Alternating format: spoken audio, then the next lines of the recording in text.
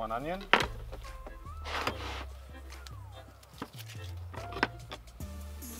And then in a minute I've got to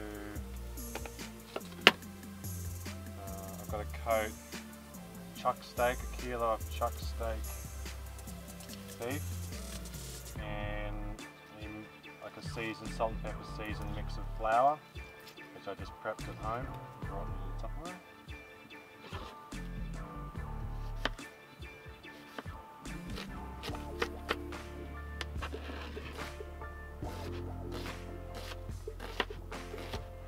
now we're just going to um, douse the chuck steak in flour.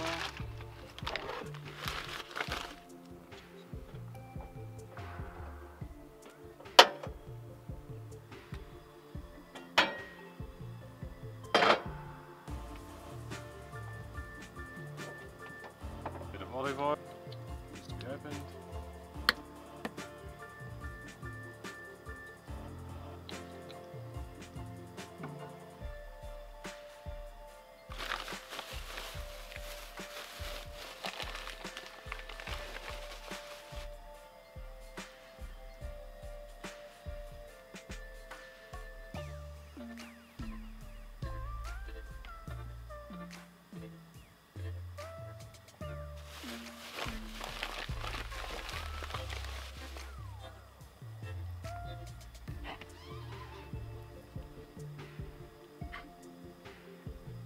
Get the get the chuck steak well coated in the flour, salt and pepper mix.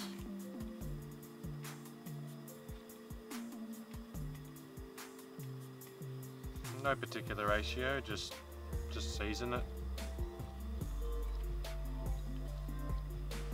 Maybe a teaspoon of each. I do the um, do the chuck steak in small batches as well so you're not overcrowding the pan. And then just brown each batch until it's browned. Remove it drain it on paper towel and then do your next batch. Usually probably three or four batches depending on the size of your pot or your pan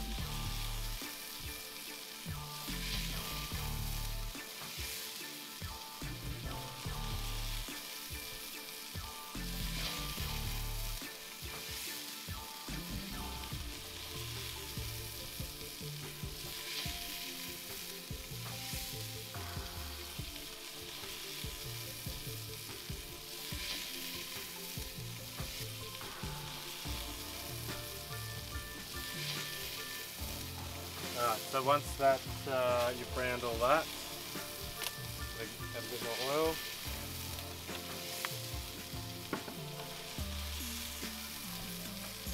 We'll add our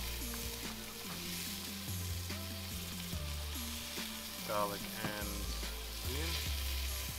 So one onion and about four to five cloves of garlic, depending on how garlicky you like it.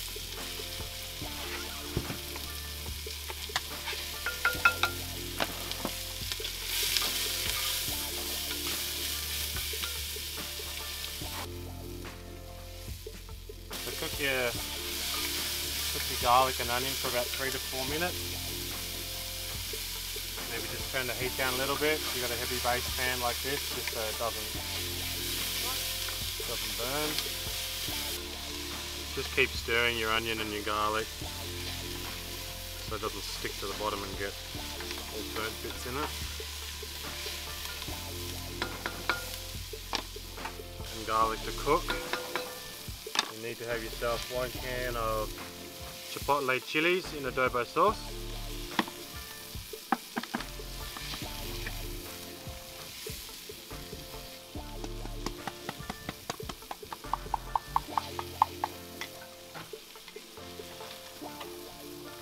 Just want to chop up, roughly chop up the uh, chilies. They will be quite big,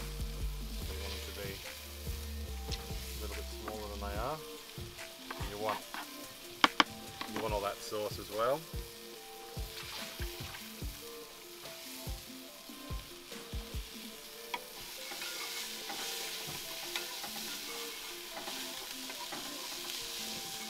Alright.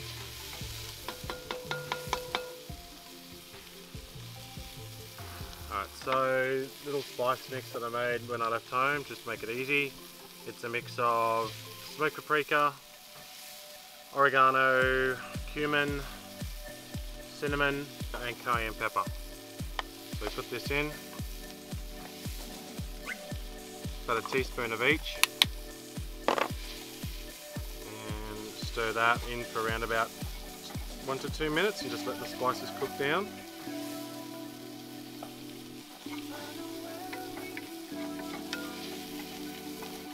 Again, don't have your pan too hot, otherwise your spices are going to burn. Keep stirring it. You just want to cook the flavours out of the spices.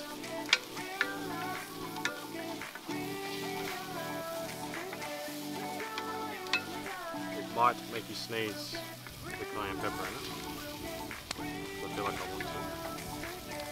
Just that's cooked off for probably around about a minute or two put your beef, add your beef back to the pot.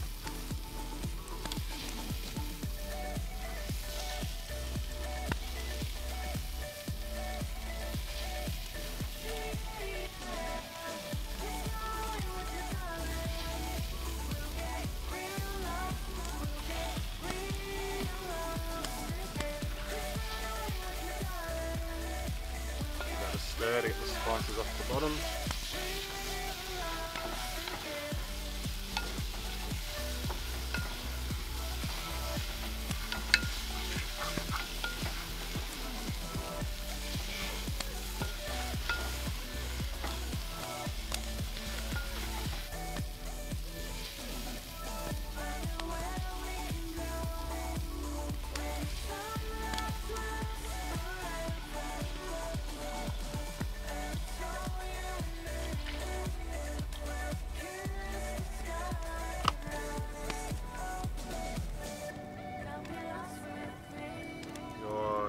Chipotle chilies and adobo in that you've cut up before.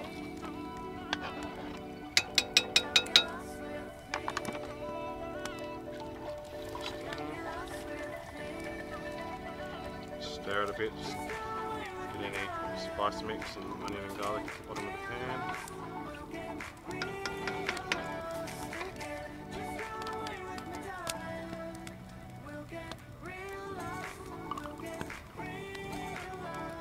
About 80 ml of bourbon, roughly. So a little bit for just, you know. Need to put in one bay leaf. On bay leaves.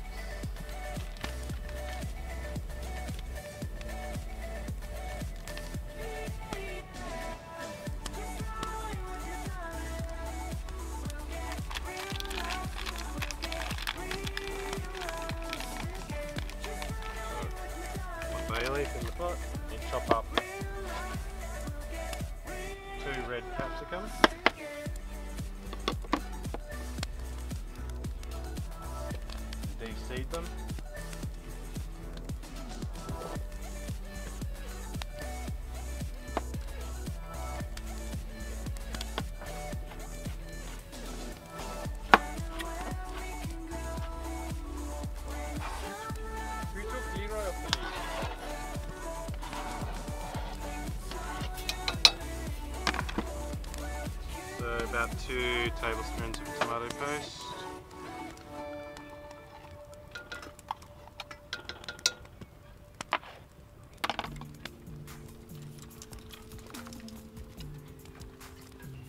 Two cans of about two gram cans of diced tomatoes, chopped tomatoes. Doesn't really matter.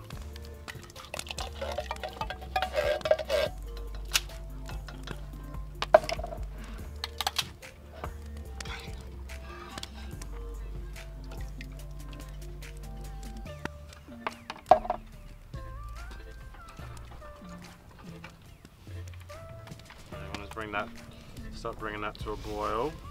And then we're going to reduce it to a simmer. And Stew it for about two and a half hours.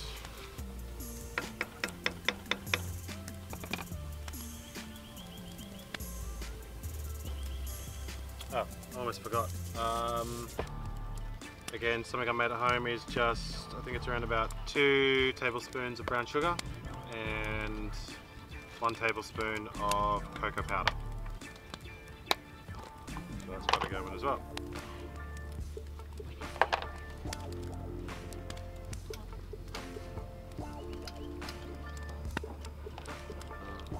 So now we've just got to bring that to boil, reduce to a simmer, slightly cover it with your lid as well. Doesn't need to be fully covered, just let some little little of pressure out, but um, just slightly covered for two and a half hours on a low simmer. Alright, so it's been um, about, well it has been two and a half hours since we simmered in the pot. Um, so I've just got a pot here that's got two cups of basmati rice and some water. Haven't turned it on yet, but uh, now's the time to get your rice on. Doesn't matter what type of rice you use.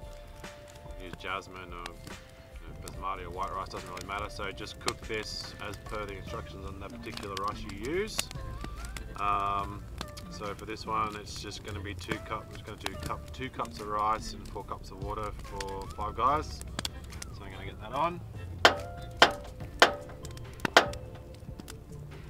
Get that on. Get rid of that up to the boil. Um, for the stew, all I need to do is add one can of black beans, one can of red kidney beans. So need a strainer for this. So strain your beans.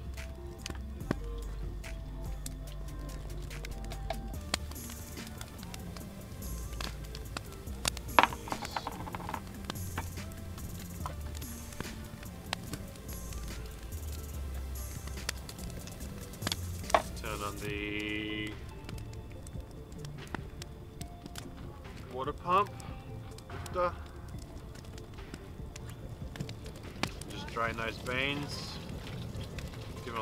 off just to remove all the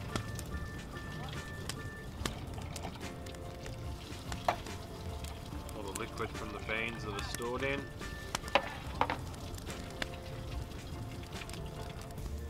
All you need.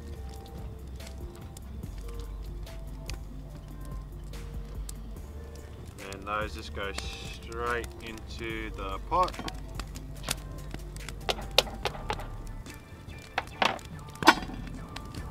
Give it a bit of a stir.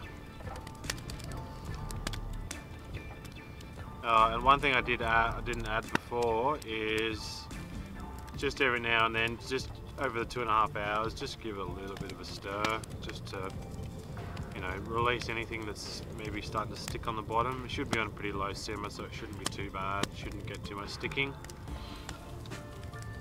Um, so this one's pretty good. Doesn't matter if you get some sticking, because it'll kind of just, that'll start to add to the flavour, but you know, try not to get everything too burnt or sticky on the bottom. So stir that in, and then we leave that for another 30 minutes uncovered. Um, I started this at probably around 4 o'clock this afternoon, so you know I haven't really worried too much about you know having to look after it. Start it, and then we just you know you go play a game of cards or go for a walk or whatever, um, and just let it do its thing. You don't have to stand over it for two and a half hours. Um, and so yeah, we'll be back in about 30 minutes, and in 30 minutes you'll be ready. All right, it's now 7:30 p.m. Rice has been on for 20 minutes. Stew or chili con carne has been on for now three hours. Time to serve up. Alright, so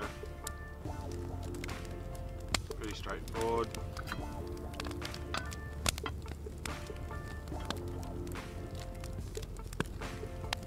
Rice.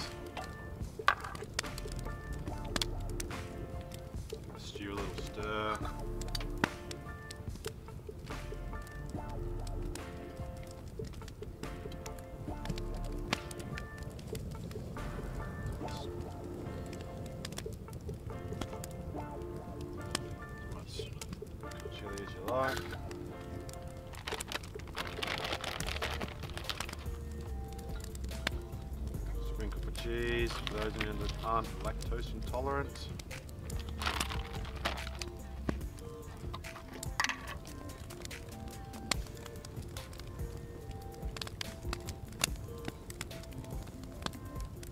Dollop of mayonnaise. She done.